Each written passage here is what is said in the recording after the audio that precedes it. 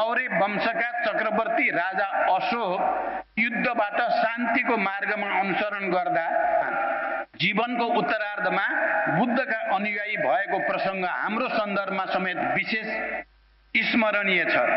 नेपाली समाजको आमूल परिवर्तनको आकाङ्क्षा सहित सुरु गरिएको जनयुद्ध सङ्घीय लोकतान्त्रिक गणतन्त्रको स्थापना सहित शान्ति प्रक्रियामा रूपान्तरण हुनु क्रान्तिको नेतृत्व गरेको पार्टी र त्यसको नेतृत्वले विस्तृत शान्ति सम्झौता मार्फत क्रान्ति र शान्तिलाई एकअर्काको पूरकका रूपमा व्यवहार सिद्ध गर्नु तथा राजनैतिक आर्थिक सामाजिक रूपान्तरणको सफल नेतृत्व गर्नुले बुद्धका शिक्षाहरूबाट हामी प्रभावित मात्र होइन हाम्रो विशिष्टता र मौलिकतामा देश र जनताको सार्वभौम हितका निम्ति अनुसरण समेत गरिरहेका छौँ।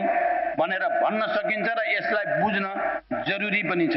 तर यसलाई जसरी विश्लेषण र संश्लेषण गरेर विश्व शान्तिका निम्ति स्वामित्व लिनु पर्थ्यो त्यसमा कतै हामी चुकिरहेका त छैनौँ।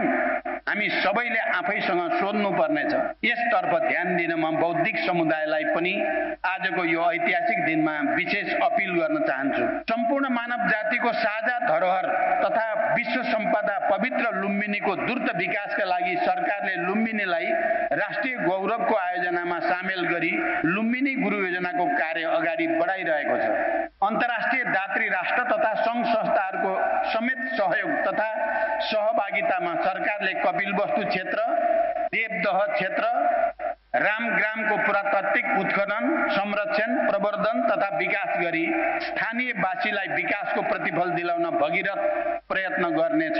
सम्भावित विश्व सम्पदा सूचीमा सन् उन्नाइस सय छ्यानब्बेदेखि सूचीकृत प्राचीन कपिल वस्तुको राजधानी सहर तिलराकोट क्षेत्रलाई विश्व सम्पदा सूचीमा सूचीकृत गर्ने प्रक्रियालाई राष्ट्रिय प्राथमिकतामा राखी प्राचीन स्मारक संरक्षण क्षेत्र घोषणा गरिसकिएको छ। यस सन्दर्भमा सरकारको प्रयत्न र अभियानमा सहयोग गर्न म स्थानीय तथा सरकार सरकारवाला सबैलाई हार्दिक अपिल गर्दछु। पूर्वीय सभ्यताको आलोकको रूपमा आधुनिक विकासका उपलब्धिले मानवीय विवेक र चिन्तन धारा कमजोर भइरहेको आजको समयमा अहिंसावादी बौद्ध दर्शनको सान्दर्भिकता निकै बढ्न गएको छ।